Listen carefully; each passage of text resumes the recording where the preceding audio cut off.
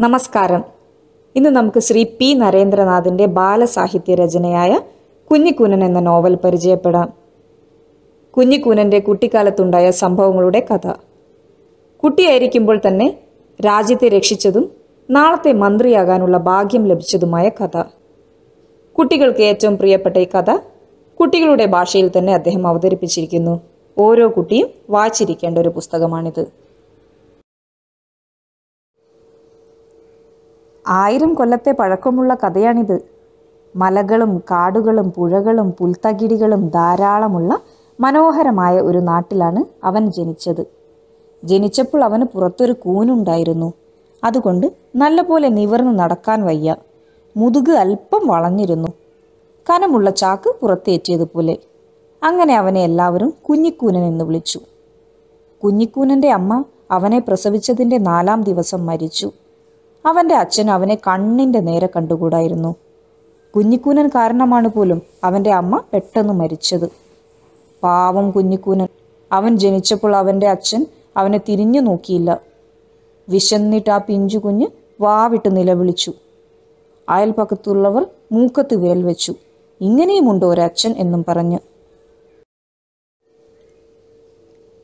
അവിടെ അടുത്ത ഗ്രാമത്തിൽ താമസിക്കുന്ന എഴുത്താശാൻ ഈ വിവരം അറിഞ്ഞു. കുട്ടികളെ പഠിപ്പിക്കലാണ് അദ്ദേഹത്തിന്റെ ജോലി. സ്വന്തമായി ആരുമില്ല. വൃദ്ധനാണെങ്കിലും നല്ലൊരു മനസ്സിന്റെ ഉടമയാണ് ആശാൻ. വിദ്യാസമ്പന്നനുമാണ്. ആശാൻ കുഞ്ഞിക്കൂനന്റെ അച്ഛനോട് ചോദിച്ചു ഈ പിഞ്ചു കുഞ്ഞിനെ പട്ടിണിക്കെടുത്ത് കൊല്ലാനാണോ ഭാവം കുട്ടിയെ ഞാൻ കൊണ്ടുപോയി വളർത്തിക്കോട്ടെ? കുഞ്ഞിക്കൂനന്റെ അച്ഛൻ പെട്ടെന്ന് സമ്മതം മൂളി. അയാൾ പറഞ്ഞു കൊണ്ടുപോയിക്കോളൂ ഇപ്പം തന്നെ കൊണ്ടുപോയിക്കോളൂ. അങ്ങനെ ആശാൻ ആ കുഞ്ഞിനെയും കൊണ്ട് അദ്ദേഹത്തിന്റെ വീട്ടിലേക്ക് പോയി. ശ്രദ്ധാപൂർവം വീട്ടിലേക്ക് നടന്ന ആശാനോട് പലരും ചോദിച്ചു ഇതെന്താണ് ആശാനെ? ഇതൊരു കുട്ടി ഒരു നല്ല ആൺകുട്ടി ഈശ്വരൻ തന്നതാണ് എന്ന് ആശാൻ മറുപടി പറഞ്ഞു. വീട്ടിലെത്തിയ ഉടൻ ആശാൻ കുഞ്ഞിനെ തന്റെ കിടക്കയിൽ കിടത്തി വെളുമ്പി വെളുമ്പി എന്ന് പുറത്തേക്ക് നീട്ടി വിളിച്ചു. വെളുമ്പി ആശാന്റെ പ്രിയപ്പെട്ട ആടാണ്. അവർ ഓടി വന്നു. ആശാന്റെ സമീപം വന്നു നിന്നു. ഒപ്പം അവളുടെ കുഞ്ഞുങ്ങളും അങ്ങനെ വെളുമ്പിയുടെ പാൽ ആശാൻ ആ പിഞ്ചു കുഞ്ഞിന്റെ നാവിൽ ഇറ്റിച്ചു കൊടുത്തു. അവൻ ആർത്തിയോടെ അത് മുഴുവൻ കുടിച്ചു. ആശാൻ അവനെ സൂക്ഷിച്ചു നോക്കി. അവന്റെ ദേഹം കറുത്തതാണ്. അല്പം നീണ്ട മൂക്കും വലിയ വായും കുറച്ച് ഉള്ളോട്ട് നീങ്ങിയ താടിയും വലിയ പപ്പട ചെവികളും അവന്റെ പ്രത്യേകതകളായിരുന്നു. അവന്റെ കറുത്ത വലിയ കണ്ണുകളിൽ എപ്പോഴും എന്തെന്നില്ലാത്തൊരു പ്രകാശമുണ്ടായിരുന്നു. ആശാൻ അങ്ങനെ ആ കുഞ്ഞിന്റെ നെറ്റിയിൽ സ്നേഹപൂർവം ഉമ്മ വെച്ചു. എന്നിട്ട് വിളിച്ചു കുഞ്ഞിക്കൂന അങ്ങനെ കുഞ്ഞിക്കൂനൻ തികഞ്ഞ ആരോഗ്യത്തോടു കൂടി വളർന്നു. അവന് അഞ്ചാമത്തെ വയസ്സായി. ആശാൻ കുഞ്ഞിക്കൂനനെ എഴുത്തിനിരുത്തി പറഞ്ഞു കൊടുക്കുന്നതെന്തും പെട്ടെന്ന് മനസ്സിലാക്കാനുള്ള അവന്റെ കഴിവ് കണ്ട് ആശാൻ അത്ഭുതപ്പെട്ടു. കാലം കുറേ കഴിഞ്ഞു. കുഞ്ഞിക്കൂനന് വയസ്സ് പന്ത്രണ്ടായി. പുറത്ത് കൂനുണ്ടായിരുന്നെങ്കിലും അവന്റെ ശരീരത്തിന് നല്ല കരുത്തും ആരോഗ്യവും ഉണ്ടായിരുന്നു കൂടാതെ ആശാന്റെ ശിക്ഷണത്തിൽ കീഴിൽ അവന് നല്ല ഉറച്ച വിദ്യാഭ്യാസവും ലഭിച്ചു. ആശാൻ കൂടുതൽ വൃദ്ധനായി കഴിഞ്ഞിരുന്നു. അങ്ങനെ ഒരു ദിവസം ആശാൻ കുഞ്ഞിക്കുനനെ അരികെ വിളിച്ചു പറഞ്ഞു. കുഞ്ഞിക്കുന ഈ വയസ്സിന് ഇനി അധിക കാലമൊന്നും ജീവിച്ചിരിക്കില്ല. നീ നന്മയെ ഒരു നാളും കൈവെടിയരുത്. ഒരിക്കലും നുണ പറയരുത്. മോഷ്ടിക്കരുത്. അസത്യത്തെയും തിന്മയെയും മരിക്കും വരെ എതിർക്കണം. എന്റെ കുട്ടി നന്നാവും.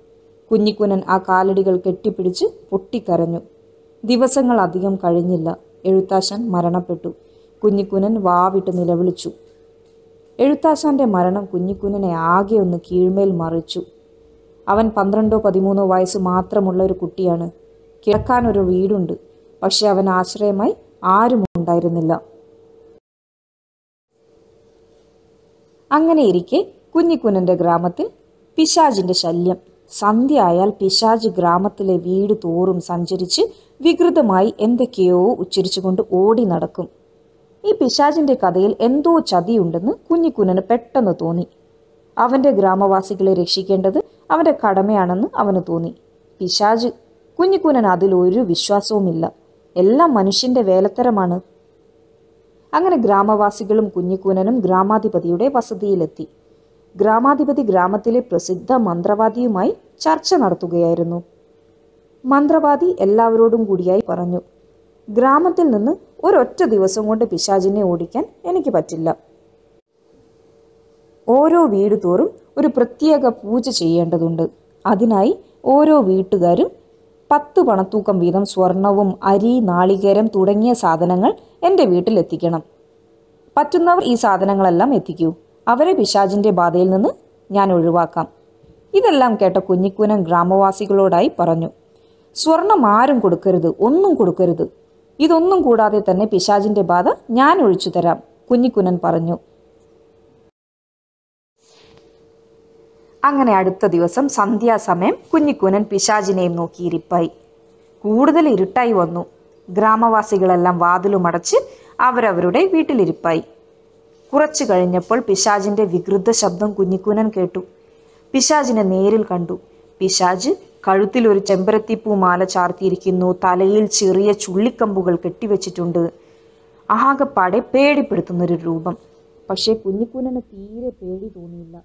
അവൻ കയ്യിൽ കരുതിയിരുന്ന കുന്തം പിശാജിന്റെ കാൽമുട്ടിലേക്ക് ചുഴറ്റി എറിഞ്ഞു പിശാജ് അയ്യോ എന്ന് ഉറക്കെ നിലവിളിച്ചു. പിറ്റേ ദിവസം കുഞ്ഞിക്കുനൻ ഗ്രാമാധിപതിയുടെ വസതിയിൽ എത്തിച്ചേർന്നു ഗ്രാമവാസികൾ മുഴുവൻ അവിടെ ഉണ്ടായിരുന്നു. കൂടെ മന്ത്രവാദിയും. കുഞ്ഞിക്കുനൻ തലേന്നു രാത്രി നടന്ന സംഭവം വിശദീകരിച്ചു. പിശാജിന്റെ കാൽമുട്ടിലേക്ക് ഞാനൊരു കുന്തം ചുഴറ്റി എറിഞ്ഞു. നമ്മുടെ മന്ത്രവാദി തന്നെയാണ് ആ പിശാജ് എന്ന് കുഞ്ഞിക്കുനൻ ഉറക്കെ വിളിച്ചു പറഞ്ഞു. അങ്ങനെ ഗ്രാമവാസികളുടെ സാന്നിധ്യത്തിൽ തന്നെ മന്ത്രവാദിയുടെ കാൽമുട്ട് പരിശോധിക്കപ്പെട്ടു. മന്ത്രവാദി തന്നെയാണ് പിശാജി എന്ന് തെളിയിക്കപ്പെട്ടു. മന്ത്രവാദിയാണ് പിശാചെന്ന് നീ എങ്ങനെ മനസ്സിലാക്കി? ഗ്രാമാധിപൻ കുഞ്ഞിക്കുനോട് ചോദിച്ചു. കുഞ്ഞിക്കുനം പറഞ്ഞു ഇന്നലെ രാത്രി പിശാജിന്റെ ശബ്ദം കേട്ടതും ഇവിടെ വെച്ച് കേട്ട ശബ്ദവും ഒരുപോലെയായി തോന്നി. അതുകൂടാതെ ഓരോ വീട്ടുകാരും സ്വർണം ഏൽപ്പിച്ചാൽ ബാധ ഒഴിവാക്കി തരാമെന്ന് മന്ത്രവാദി പറഞ്ഞപ്പോൾ എല്ലാം മനസ്സിലായി. അങ്ങനെ മന്ത്രവാദിക്ക് നൂറ്റിയൊന്നടി ശിക്ഷ കിട്ടി. കുഞ്ഞിക്കുന ഇതിന് ഞാൻ പകരം വീട്ടിക്കോളാം മന്ത്രവാദി ഉറക്കെ വിളിച്ചു പറഞ്ഞു. ഒരു ദിവസം കുഞ്ഞിക്കുനൻ അവന്റെ വീട്ടിൽ ഉറങ്ങാൻ കിടന്നപ്പോൾ കലശലായ ചൂട് അനുഭവപ്പെട്ടു. അവൻ പെട്ടെന്ന് തന്നെ പുറത്തേക്ക് ഇറങ്ങി നോക്കിയപ്പോൾ തന്റെ വീട് മുഴുവൻ ആളി കത്തുകയാണ് അവന്റെ എഴുത്താശാന്റെ ഓരോ വിയർപ്പ് തുള്ളിയും ആ വീടിനു വേണ്ടി ചിലവഴിക്കപ്പെട്ടതാണ്. കുഞ്ഞിക്കുനൻ ആകെയുള്ള ആശ്രയസ്ഥാനമായിരുന്നു അത്. ആ മന്ത്രവാദിയാണ് അത് ചെയ്തതെന്ന് അവന് മനസ്സിലായി. അങ്ങനെ അവൻ ഒരു ലക്ഷ്യവുമില്ലാതെ അവിടുന്ന് ഇറങ്ങി. അവൻ കുറേ നടന്നു. അപ്പോഴാണ് രണ്ട് യാത്രക്കാരെ അവൻ കണ്ടത്. ഒന്നൊരു വയസ്സൻ മറ്റേതൊരു ചെറുപ്പക്കാരൻ. അവനെ കണ്ടതും വൃദ്ധൻ ചോദിച്ചു കുട്ടി എങ്ങോട്ടാണ്? അങ്ങനെയൊന്നുമില്ല വെറുതെ ഒരു യാത്ര ചെയ്യാമെന്ന് വെച്ചു കുഞ്ഞിക്കുനൻ അവരോട് പറഞ്ഞു. ഞങ്ങൾ പോകുന്നത് തലസ്ഥാന നഗരിയിലേക്കാണ്. ഇഷ്ടമുണ്ടെങ്കിൽ ഞങ്ങളുടെ കൂടെ വന്നോളൂ ആ വൃദ്ധൻ പറഞ്ഞു. അങ്ങനെ കുഞ്ഞിക്കുനൻ അവരുടെ കൂടെ കൂടി മൂന്ന് പേരും അങ്ങനെ യാത്ര തുടർന്നു. ഒരു പടുകൂറ്റൻ കാട്ടിലൂടെ അവർ യാത്ര തുടർന്നു. അവർ ഒരു കോട്ടയിലെത്തി. വൃദ്ധനും ചെറുപ്പക്കാരനും കുഞ്ഞിക്കൂനനെയും കൊണ്ട് നേരെ കോട്ടയ്ക്കുള്ളിൽ പ്രവേശിച്ചു. പിന്നീടാണ് കുഞ്ഞിക്കൂനന് മനസ്സിലായത് അവൻ എത്തിച്ചേർന്നിരിക്കുന്നത് കള്ളന്മാരുടെ സങ്കേതത്തിലാണ്. ആ വൃദ്ധൻ കൊള്ളത്തലവനായിരുന്നു. കുഞ്ഞിക്കൂനനെ ചൂണ്ടിക്കാണിച്ചുകൊണ്ട് കൊള്ളത്തലവൻ ആജ്ഞാപിച്ചു. ഇവനെ മുറിക്കുള്ളിൽ പൂട്ടിയിട്. കാളിപൂജ അവസാനിക്കുന്ന ദിവസം കാളിക്ക് ഇവനെ ബലി കൊടുക്കാനുള്ളതാണ്. അത് കേട്ടപ്പോൾ കുഞ്ഞിക്കൂനന്റെ ബോധം കെട്ട് നിലത്തു വീണു. കുറച്ചു കഴിഞ്ഞപ്പോൾ കുഞ്ഞിക്കൂനൻ കണ്ണു തുറന്നു നോക്കി. അവനെ ഒരു ഇരുട്ടറയിൽ അടച്ചുപൂട്ടിയിരിക്കുകയാണ്. അവന്റെ കണ്ണുകളിൽ വെള്ളം നിറഞ്ഞു. വളർത്തച്ഛന്റെ വാക്കുകൾ അവന്റെ ചെവികളിൽ മുഴങ്ങി. കുഞ്ഞിക്കുന നിനക്ക് നല്ലത് വരും. അവൻ എന്തെന്നില്ലാത്ത ആത്മവിശ്വാസം ലഭിച്ചു. കുഞ്ഞിക്കുനൻ അവിടെയുള്ള പാചകക്കാരനുമായി സൗഹൃദമുണ്ടാക്കി. ആ കോട്ടയുടെ കാര്യങ്ങളെല്ലാം അയാളിൽ നിന്ന് കുഞ്ഞിക്കുനൻ ചോദിച്ചു മനസ്സിലാക്കി. മൃതസഞ്ജീവനി എന്നൊരു ഔഷധ ചെടിയെക്കുറിച്ചും അയാളിൽ നിന്ന് അവൻ അറിഞ്ഞു.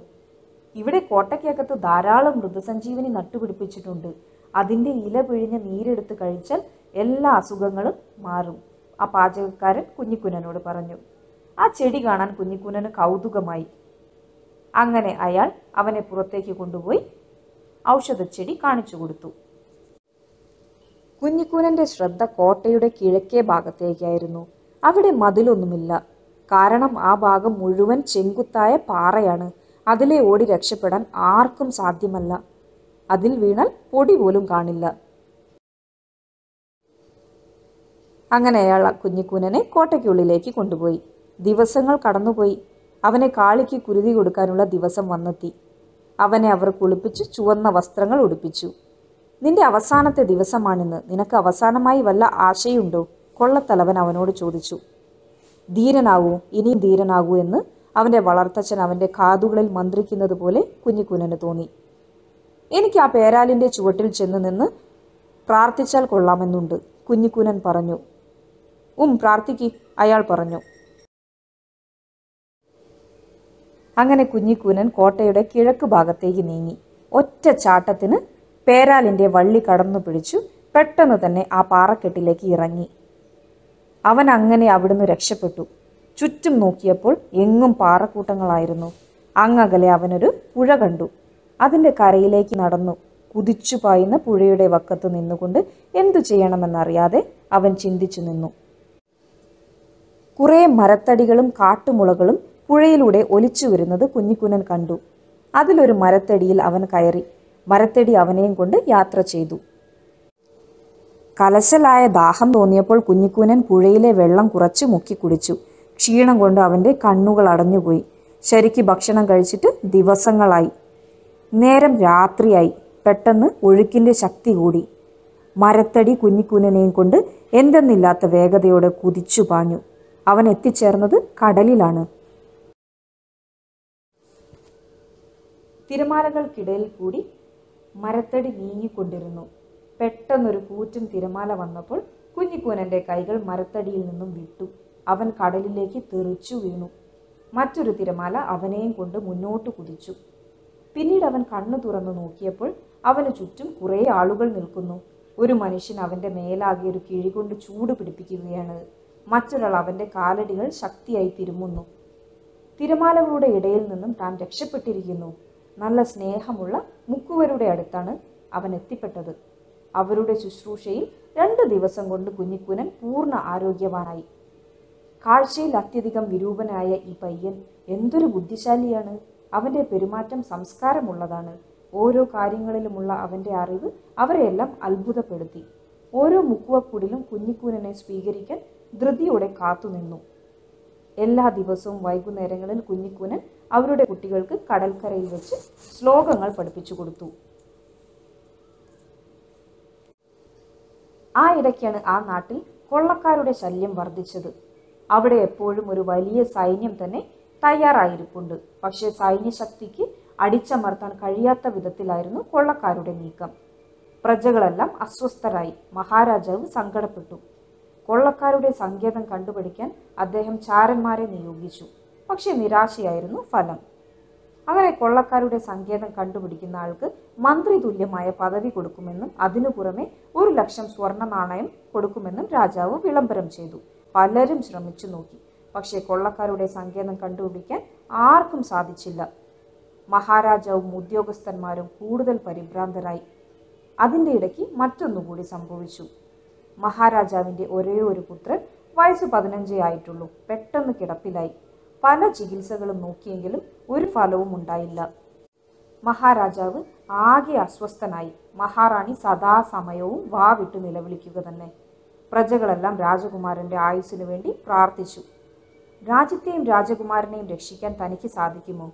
കുഞ്ഞിക്കുനൻ ആലോചിച്ചു. കൊള്ളക്കാരുടെ സങ്കേതം കുഞ്ഞിക്കുനൻ അറിയാം. അവിടെ നിന്നാണ് അവൻ രക്ഷപ്പെട്ടു പോകുന്നത്. പിറ്റേ ദിവസം അവൻ മറ്റൊരു വാർത്ത കൂടി അറിയാൻ കഴിഞ്ഞു. ജ്ഞാനിയായ ഒരു വൈദ്യൻ രാജകുമാരനെ പരിശോധിച്ചതിന് ശേഷം അഭിപ്രായപ്പെട്ടത് ഇതാണ്. രാജകുമാരന്റെ സൂക്കേട് മാറും. അതിന് ഒരു ഒറ്റ വഴിയേ ഉള്ളൂ. മൃതസഞ്ജീവനിയുടെ ഇള പിഴിഞ്ഞ നീര് ഒന്നോ രണ്ടോ തുള്ളി രാജകുമാരന്റെ വായിൽ ഇറ്റിച്ചു കൊടുക്കണം. എന്നാൽ രാജകുമാരന്റെ അസുഖം ഭേദമാകും. ഈ വാർത്ത കേട്ടപ്പോൾ കുഞ്ഞിക്കൂനൻ സന്തോഷം കൊണ്ട് തുള്ളിച്ചാടി. അതെവിടെയുണ്ടെന്ന് അവനറിയാം. ആ ചെടി അവൻ കണ്ടിട്ടുണ്ട്. അവൻ നേരെ കൊട്ടാരത്തിൽ പോയി മൃതസഞ്ജീവനി എവിടെയുണ്ടെന്ന് അവനറിയാമെന്ന് രാജാവിനോട് പറഞ്ഞു. അങ്ങനെ കുഞ്ഞിക്കൂനൻ തന്റെ ചരിത്രം രാജാവിനോട് വിവരിച്ചു. കള്ളന്മാരുടെ സങ്കേതത്തിൽ അകപ്പെട്ടതും അവിടെ വെച്ച് മൃതസഞ്ജീവനി കാണാനിടയായതും അവിടുന്ന് രക്ഷപ്പെട്ടതും എല്ലാം പറഞ്ഞു. മഹാരാജാവ് കുഞ്ഞിക്കൂനന്റെ കണ്ണുകളിലേക്ക് നോക്കി. നിഷ്കളങ്കതയും ആത്മാർത്ഥതയും ധൈര്യവും എല്ലാം ആ കണ്ണുകളിൽ അദ്ദേഹം കണ്ടു. കുഞ്ഞിക്കൂനന്റെ അഭിപ്രായം എന്താണ്? എങ്ങനെയാണ് നാം പ്രവർത്തിക്കേണ്ടത്? മഹാരാജാവ് കുഞ്ഞിക്കൂനനോട് ചോദിച്ചു. കുഞ്ഞിക്കൂനൻ തന്റെ മനസ്സിലെ പദ്ധതി വിശദീകരിച്ചു. ഉടൻ തന്നെ കാട്ടിലേക്ക് പുറപ്പെടുക. രാത്രി കള്ളന്മാർ അവരുടെ കോട്ടയ്ക്കുള്ളിൽ നിന്ന് പുറത്ത് കടക്കുന്നതിന് മുൻപ് നമുക്ക് അവിടെ എത്തണം. ഒരു നല്ല സൈന്യം വേണം. വേണ്ടത്ര ആയുധങ്ങളും. രാജാവ് എല്ലാം സമ്മതിച്ചു. അങ്ങനെ കുഞ്ഞിക്കൂനൻ സൈന്യത്തോടൊപ്പം യാത്ര പുറപ്പെട്ടു. അവർ കോട്ട വളഞ്ഞു. കൊള്ളക്കാരെയെല്ലാം ബന്ധനസ്ഥരാക്കി. അവർ കൊള്ള ചെയ്ത് സംഭരിച്ചു വെച്ച് മുതലുകൾ ഭടന്മാർ ബാണ്ടമായി കെട്ടി. സ്വർണ നാണയങ്ങൾ തന്നെ ഏകദേശം പത്തു ലക്ഷത്തോളം വരുമെന്ന് സേനാധിപതി കണക്കുകൂട്ടി. കുഞ്ഞിക്കുനൻ ഒട്ടും താമസിയാതെ മൃതസഞ്ജീവനി ചെടിയുടെ സമീപം ചെന്ന് വേണ്ടത്ര ഇലകൾ പറിച്ചെടുത്തു. അവർ തിരിച്ചു കൊട്ടാരത്തിലെത്തി. മൃതസഞ്ജീവനിയുടെ നീര് അകത്തു ചെന്നപ്പോൾ രാജകുമാരൻ കണ്ണു തുറന്നു.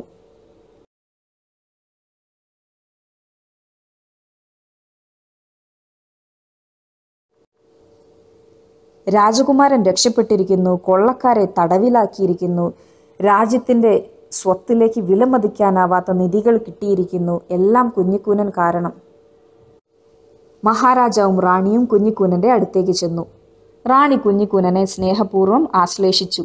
മഹാരാജാവ് അദ്ദേഹത്തിന്റെ വലതു കൈകൊണ്ട് കുഞ്ഞിക്കൂനന്റെ പുറം തടവി. മഹാറാണി അവന്റെ നെറുകയിൽ ഉമ്മ വച്ചു. പെട്ടെന്നൊരു പെരുമ്പറ മുഴക്കി. മഹാരാജാവ് പ്രഖ്യാപിച്ചു കുഞ്ഞിക്കൂനൻ കൊള്ളക്കാരിൽ നിന്ന് നമ്മെ രക്ഷിച്ചിരിക്കുന്നു. ഈ രാജ്യത്തിന്റെ അടുത്ത അവകാശിയായ രാജകുമാരനെയും രക്ഷിച്ചിരിക്കുന്നു. നേരത്തെ വാഗ്ദാനം ചെയ്തതുപോലെ മന്ത്രിയുടെ പദവി ഇതാ നാം കുഞ്ഞിക്കുനന് കൊടുക്കുന്നു. ഇതിനു പുറമെ ഒരു ലക്ഷം സ്വർണ നാണയങ്ങളും. കുഞ്ഞിക്കുനൻ മഹാരാജാവിന്റെ മുന്നിൽ ചെന്ന് സവിനയം പറഞ്ഞു. മന്ത്രി പദവി ഏറ്റെടുക്കാൻ ഞാൻ വലുതായിട്ടില്ല. പിന്നെ ഒരു ലക്ഷം സ്വർണ നാണയങ്ങൾ ഇതാ ഞാൻ സ്വീകരിക്കുന്നു. ഈ ഉള്ളവനു വേണ്ടി ഈ സ്വർണ നാണയങ്ങൾ മുക്കുവന്മാരായ എന്റെ സ്നേഹിതന്മാർക്ക് അങ്ങയുടെ കൈകൊണ്ട് തന്നെ സമ്മാനിച്ചാലും. അങ്ങനെ മഹാരാജാവ് സ്വർണ നാണയങ്ങൾ മുക്കുവന്മാർക്ക് സമ്മാനിച്ചു. എന്നിട്ട് കുഞ്ഞിക്കുനനെ അടുത്ത് വിളിച്ചു പറഞ്ഞു നീ ഈ രാജ്യത്തിന്റെ നാളത്തെ മന്ത്രിയാണ്. ജനങ്ങൾ ജയ് വിളിച്ചു. കുട്ടികൾ കുഞ്ഞിക്കുനന്റെ ചുറ്റും നൃത്തം വെച്ചു കുഞ്ഞിക്കുനൻ ഒരു നിമിഷം കണ്ണടച്ചു നിന്നു. അവൻ തന്റെ പ്രിയപ്പെട്ട വളർത്തച്ഛനെ മനസ്സുകൊണ്ട് സാഷ്ടാംഗം നമസ്കരിക്കുകയായിരുന്നു.